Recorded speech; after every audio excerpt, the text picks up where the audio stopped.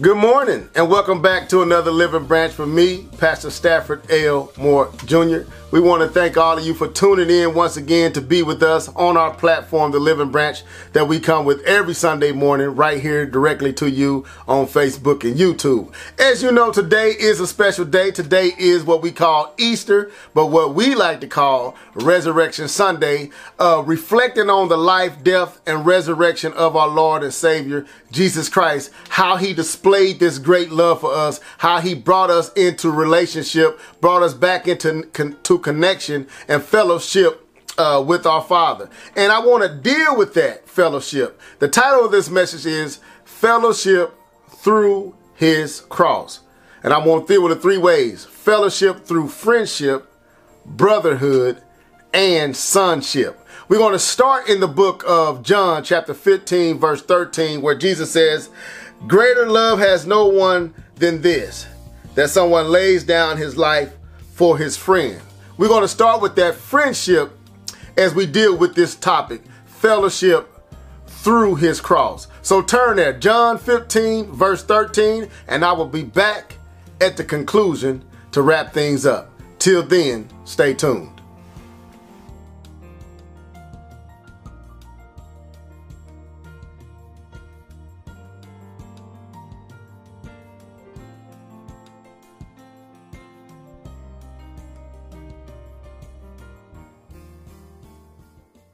Good morning and welcome to another Living Branch with Pastor Stafford L. Moore Jr.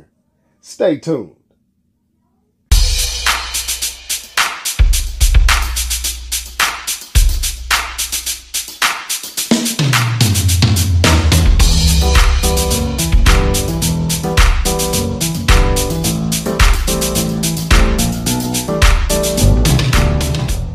Amen. If you would turn your books to the book of John, chapter 15, and rest your finger at the 13th verse. I want to welcome you all back to another uh, living branch with me, Pastor Stafford L. Moore Jr., and the entire uh, Mount Moriah family. We just appreciate the fact that you have, choose, have chosen to be with us on this Sunday morning, this particular Sunday morning, what we like to call Resurrection Sunday. I know we uh, say Easter across this great nation. But I like to say resurrection because he rose on this day. He, he got up out the grave with all victory and power in his hands. So we want to recognize that. We want to remember that and reflect on that. Across this great nation, many churches, the church body as a whole, is reflecting on the life, death, and resurrection of his son. Yes, it's uniquely done because we're not in person. We're doing this uh, uh, over the airways, over the internet, through these streaming services.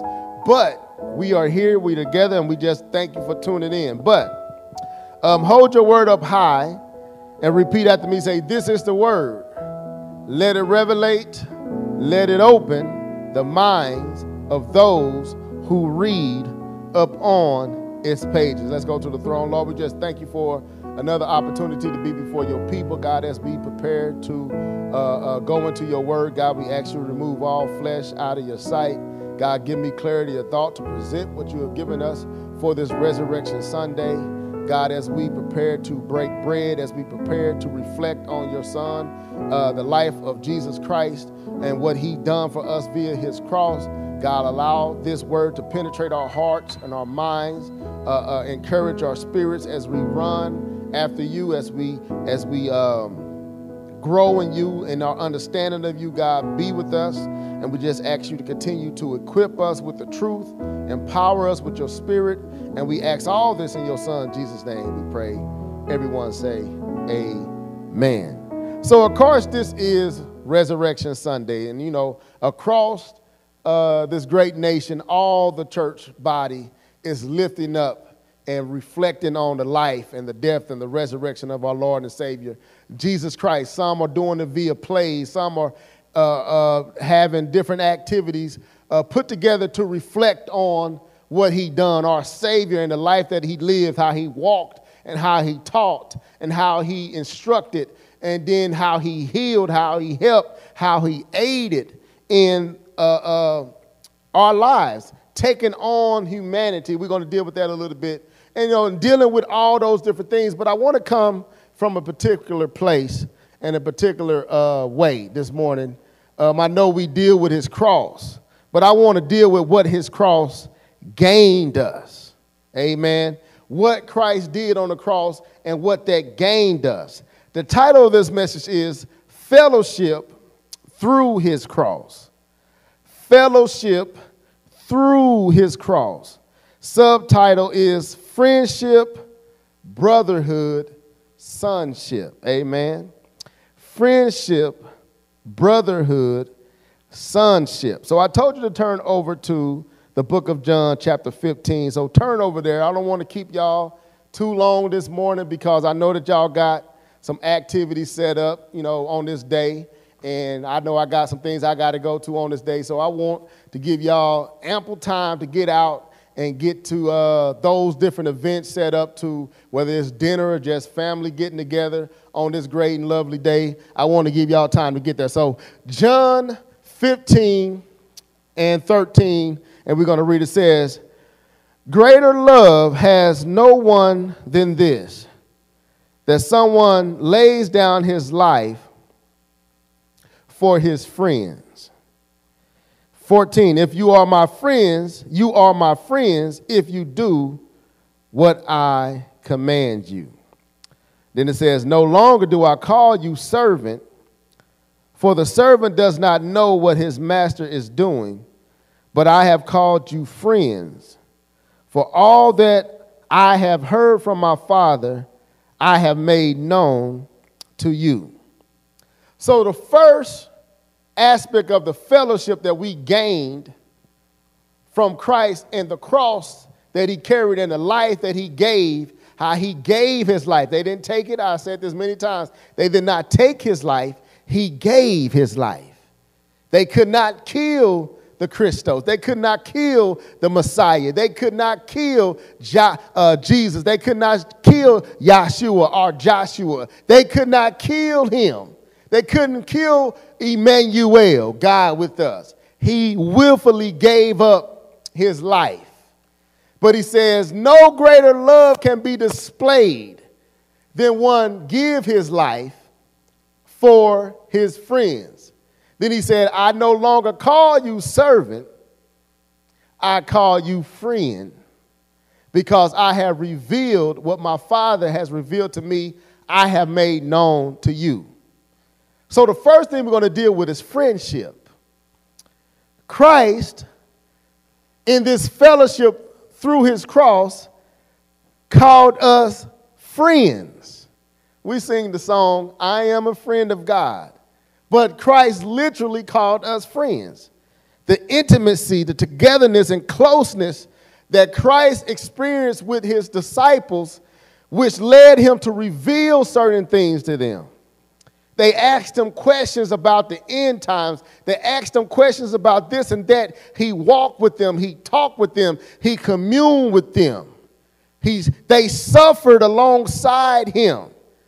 When he went to pray and he was praying about God removing the cup of the cross, it was his friends that was there with him.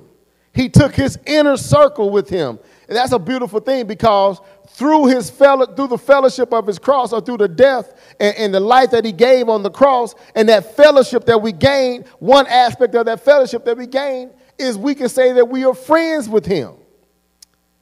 If you walk with him, if you talk with him, if you follow his instructions, you can claim and believe and know that you are a friend of God and he calls you friend. Amen. Look at your neighbor and say, God calls me friend. He calls us friend. Amen. I think about Abraham uh, in the situation with Sodom and Gomorrah and, his, uh, uh and Lot, and how God said to his companions, shall I reveal or shall I hide or keep from him what I'm about to do? Jesus just said, I have not kept anything that my Father has told me. I have shared it with you. I made it known to you because you are my friend. I don't call you servant no more because a servant doesn't know what his master is doing. So That's a good thing. We know what our, uh, our, uh, uh, our Father is doing. We know what God is doing because we are a friend. We have relationship with him. We have fellowship with him because of the blood that was shed on the cross. We have fellowship with Christ and he calls us friends. He calls you friend. And if you know anything about a friend, you don't withhold much from your friend. I got a good friend. We talk about just about everything. Amen. We, some of our most deep uh, uh, uh, secrets, some of, uh, some of our deepest um, private matters. We share these things with one another, trusting and knowing that I can trust him with this information and he can trust me with this information. We share a relationship. And I call him friend. I don't call everybody friend. I've said this many times before. I don't call everybody friend. So that lets you know when Jesus said that to his disciples, this was a very intimate thing. He called them friends. So, in the first thought of this message, fellowship through his cross, the first fellowship that we experienced with him was the fact that he called us friends.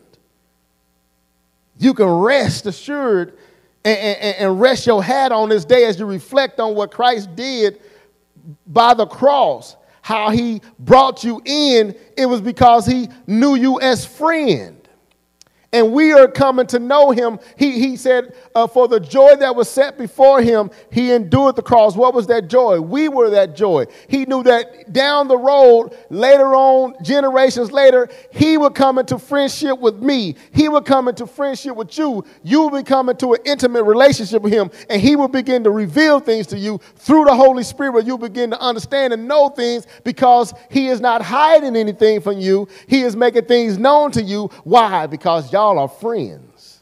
Ooh, that's a good thing. Look at your neighbor say, I'm a friend of God. Amen. So that's one aspect of how Christ and the fellowship that he gained for us uh, by the cross is in the form of friendship. We have friendship with God. We're not just associates, we're just not acquaintances, we're just not someone they kind of know or know of. No, we know him. He knows us. And he calls us friend. Amen. Let's, let's continue this. The second thing I want to deal with, because like I said, I don't want to keep you here forever on this morning, as we reflect on the life, death, and burial of our and resurrection of our Lord and Savior, is brotherhood. This is the second aspect of fellowship that we gain by his cross is that of brotherhood. Let's go over to the book of Hebrews, chapter 2, and rest your finger at the 16th verse. Amen. Brotherhood. It says, For surely it is not angels that he helps, but he helps the offspring of Abraham Therefore, he had to be made like his brothers in every respect, so that he might become a merciful and faithful high priest in the service of God to make petition, uh, propitiation, I mean, uh, for the sins of the people. Look at verse 16 again. It says, For surely it is not angels that he helps but he helps the offspring of Abraham. Therefore, he had to be made like his brothers in every aspect. Ooh, look at your neighbor and say, He called me brother. He called you sister. He said, I did not come like the angels, and I didn't come to help the angels. That's so, it says the angels desire to look into the matters of man. What is man that thou art so mindful of him that you visit him, that you think of him, that you consider him? He said, I didn't come to help the angels, but look what he told us. He said, I will not leave you helpless. I will not leave you without a comforter. And we're going to deal with a little bit later. I will not leave you as orphans. I will send a helper. He came to help us because we are his brothers. So he said, we did, I didn't come like the angels, but I had to come in the likeness of my brothers in every respect. So he called us brothers when he took on humanity. As our Savior, he considered us brothers. Amen. Now that speaks of something because you can look at this from two aspects. We're going to deal with this brotherhood. We're going to deal with it from a physical, related brother. Like I have two brothers, they are my blood brothers through my parents' union. I have a brother by the name of Octavius, and I have a brother by the an older brother by the name of Kenya. Them are my brothers because we are from the same source. my mom and my dad came together, and through their union, they produced three beautiful, handsome sons. I'm, I'm, let, me, let me stop. Let me stop messing on this day. But through their union, they produced three sons Kenya, Stafford, and, and Octavius. And we are blood related. Mm, this sounds good to me. So, through that blood connection, I am his brother. No matter where he go, I am blood related to him. We are connected via the blood. You see what I'm saying, right? Now we know that it is the blood of Christ that has brought us into this fellowship because of the blood that he shed on the cross. Through that spilling of his blood, he brought us together as brothers and sisters in Christ. We are one in Christ through the Holy Spirit, and the, that connection is like my brothers and the blood that we share from our parents. So we are brothers spiritually through the blood of Christ, but then he goes a step farther. Just like my parents came together in, in holy matrimony and marriage, and through marriage they created three sons and created a family. We have a brotherhood because through Christ and the death on his cross and the resurrection that he stepped out the grave, through that uh, uh, event, we are now family in Christ. He has brought us together. We talked about that over in Ephesians, where he brought both Gentile and Jew together and removed the walls of hostility and brought them together as one in Christ, one body, one family, one church with Christ being the head. We are we have a brotherhood, we have a sisterhood, we are a family because of his blood, what he did through the because of the cross and the fellowship that we gained through his cross. We are brothers. So not only are we friends of Christ, we are brothers in Christ. Hello, this is Pastor Stafford Moore. And I want to personally thank all of you that have been supporting us on this platform, The Living Branch. Many of you have followed us on our Facebook page, and you faithfully watch The Living Branch every time we post. Some of you are even following us and subscribe to us on YouTube, and you faithfully follow us there as well. Others are following us on Anchor via our podcast, The Living Branch, and it has been a blessing. But I know a few of you, and maybe many of you, want to go a step beyond that and support us financially. So what we have done is created a cash app at dollar sign the living branch. That's cash app at dollar sign the living branch.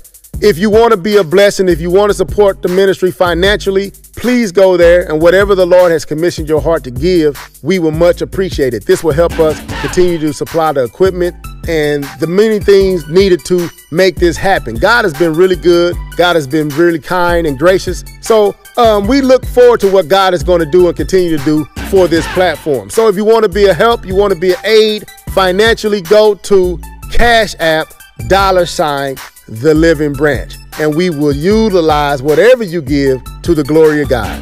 Be blessed.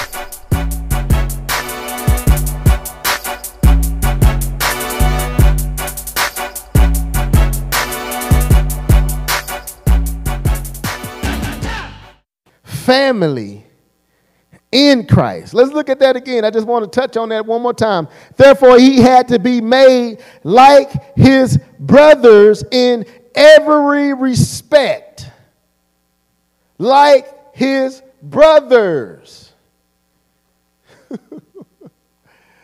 So we family. That's why I can say you are joint heirs with Christ, heirs and joint heirs. Now we have access to the Father, which we go on next. And then we have inheritance as sons, as daughters. We receive an inheritance because Christ is our brother. Christ has brought us into his family. He came likened his brothers, likened to his brothers in every respect. He took on humanity. He didn't come as an angel. He didn't come as a lion. He didn't come as a, a, a any of those things. He took on humanity, and it says he came he had to be made like his brothers in every respect. He was a human being with all the limitations and all the issues and all the struggles and all the pains and all the ailments and all the hurt that humans go to. He had to go to the restroom. He had to sleep. He had to eat. He had to experience it in all the respects that we experienced it. We experience it. He had a heart, he had blood pumping through his heart. Amen. And that blood that was spilt when they pierced him in his side is why we can be called brothers. He came like his brothers. He took on humanity as the second Adam. By the first Adam, we was launched into sin. By the second Adam, we come out through him and faith in him. Amen. Look at your neighbor say, We have brotherhood due, due to the fellowship of his cross. Amen. Let's continue. And the last one on this Sunday morning, Resurrection Sunday, we have sonship. Yes, we have sonship. Go to Galatians, the book of Galatians. Sonship, the book of Galatians. I should have stayed up here so I didn't have to walk. Galatians 4, verse 4. Now let's read 4 through 5. It says, But when the fullness of time had come, God sent forth his son, born of a woman, born under the law to redeem those who were under the law, so that we might receive adoption as sons. Let's continue. And because you are sons, God has sent the Spirit of His Son into our hearts, crying, Abba, Father. So you are no longer a slave, but a son, and if a son, then an heir through God. So at the appointed time, the day when we're celebrating, that the life that we're celebrating, at the appointed time, God sent Jesus. God sent the Emmanuel. God sent Yeshua or Joshua at the appointed time. Amen. That through him and his act on the cross, his love, his, this great love that he, he talked about earlier. There is no greater love than one lay down his life for his friend. This great love uh, that he was going to display to redeem those under the law so that we might be might receive adoption as sons so those that was under the law and then extended to those who didn't even know the law to become sons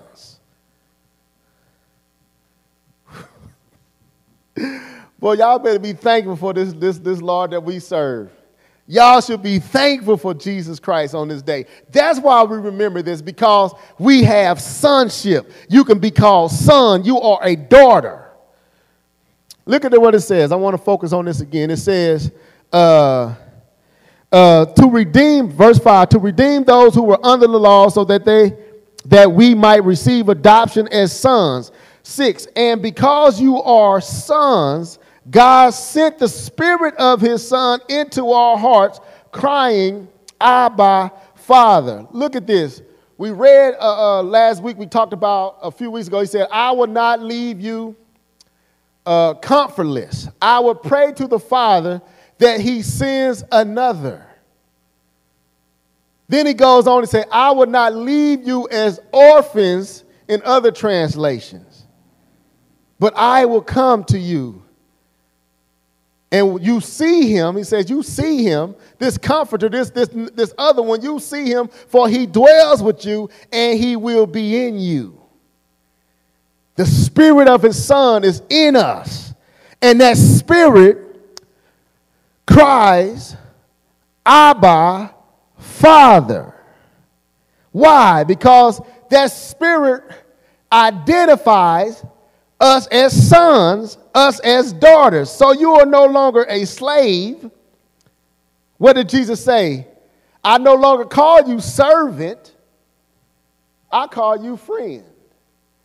Over here it says, Paul said, You are no longer a slave, but you are a son. And if you are a son, then you are heir. So we are heirs and joint heirs with Christ. We are heirs through God. We are friends of Christ. No longer servants, no longer slaves, but son, friend, brother, family. Why? Through the fellowship of his cross, through the love that he displayed when he chose to go up Calvary Hill and allow creation to, to uh, beat him and allow to creation to mishandle him and allow creation to pierce him in his side and his blood uh, spilled to the ground, signifying the covering of our sins, signifying the death of the innocent one, the lamb that was shed for all of us, so that we can have fellowship and full access to the God that created all things. Look at your neighbor and say, Neighbor, there is no greater love than this. Just like Jesus said, to his friends. No greater love can be displayed than one lays down his life for his friends. We have relationship. This is a relational uh, uh, uh experience. We know him because we are known by him and he reveals himself to us. He does not hide himself, he reveals himself. He opens up, he makes things understood. The mysteries are explained to those he calls friends, those that are his brothers, those that are sons, those that are daughters, those that are family at the body, as the body of Christ. We have fellowship. And that's what we reflect on on this Resurrection Sunday the fact that our Lord and Savior, Jesus Christ, took on humanity as our brothers, walked with us as friends, introduced us to his Father.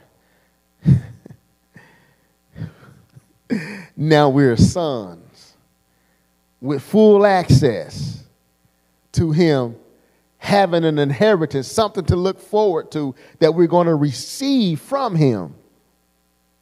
And this is the great love. So, in my close, as you reflect on this Sunday, think about that. The fellowship that we have through His cross, friendship, brotherhood, sonship. These are the aspects of that fellowship that we have. As the body of Christ, He has brought us together under the head of his son through one spirit, his Holy Spirit, that connects us like the blood connects a family uh, uh, together from that mother and that father, and the blood that came together and formed in the womb of the mother and produced a child, whether it's a, a, a girl or a boy, that then, then more children are produced, and then a family comes into fruition in, in its birth. Christ birth a family of brothers and sisters and friend with friendship and, and love and intimacy and relationship and communion and union and oneness through his spirit, the Holy Spirit. And that Holy Spirit causes us to cry out and call to our Father. I pray that that bless you this morning. I pray that you got something out of it as you reflect on this day. just think about that. What it took for this God to send his only begotten son to die, the love of that act. We got the full uh, uh, uh, uh benefit, the privilege, and joy uh, to look on and, and reflect on and remember what was done for us. And not everybody understand this. Not everybody understand this, but we have fellowship through his cross. Friendship, brotherhood, and sonship. Amen.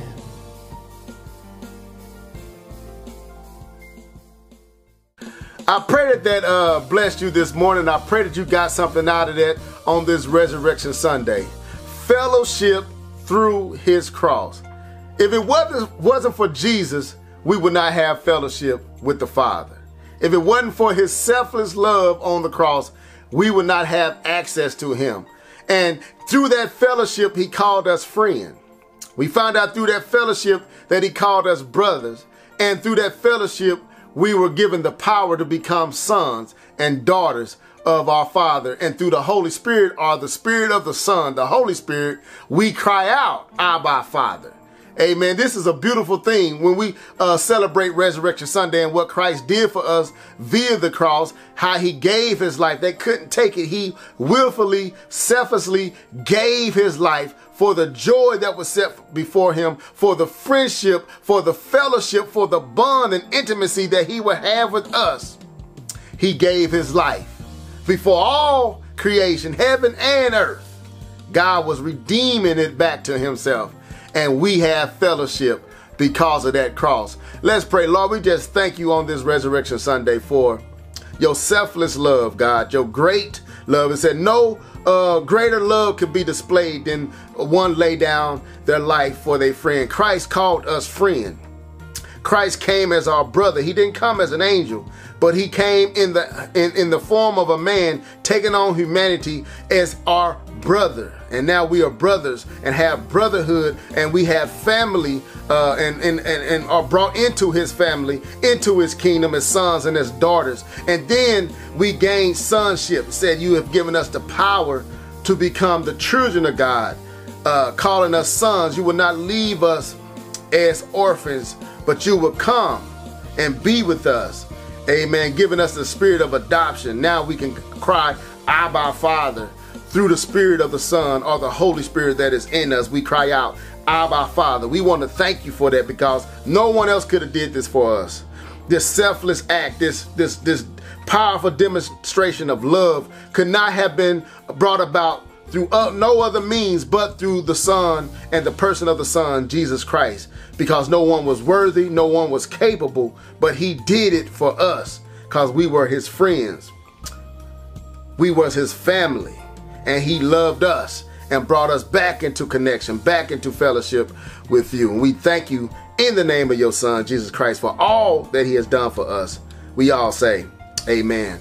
I pray that you uh, was blessed this morning. Reflect on that as you go about your day, uh, thinking about what Christ has done for us and the fellowship that we have gained through the selfless act that he displayed on the cross by giving his life shedding his blood and bringing us into fellowship as friends, sons, and brothers uh, and sisters uh, in the uh, family of Christ. And it's just a beautiful thing. We just thank him for that. Um, I want to bless, send blessings your way. Uh, enjoy your day, enjoy your time with your family, and tune in at the same place, same time, right here on the Living Branch. Till then, be blessed and highly favored. See you next time.